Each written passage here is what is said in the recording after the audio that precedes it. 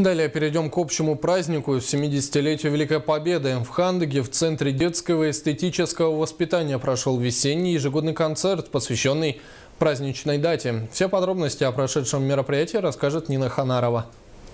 Весенний ежегодный концерт в Центре детского эстетического воспитания в Хандыге, так же, как и все мероприятия этого года, был посвящен Великой дате. Учащиеся изобразили своих предков и на выставке рисунков, о которых услышали от своих родителей. Я нарисовала, как выходили люди на парад, как справляли этот праздник, о всех людях, которые живут дружно в мире все.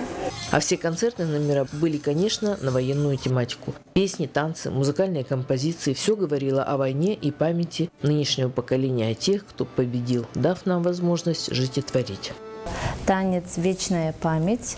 Он символизирует, э, ну, показывает, да, что э, вечный огонь, у нас костюмы там а, краской подобрали там красные и черные, то есть красный цвет это а, символ огня, победы, а черный цвет это скорбь, смерть, война.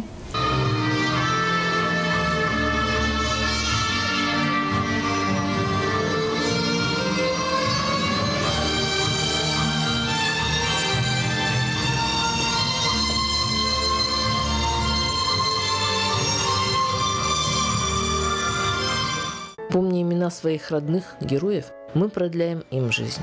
Нина Ханарова, Джоустан Толстяков, НВК Саха, Хандага.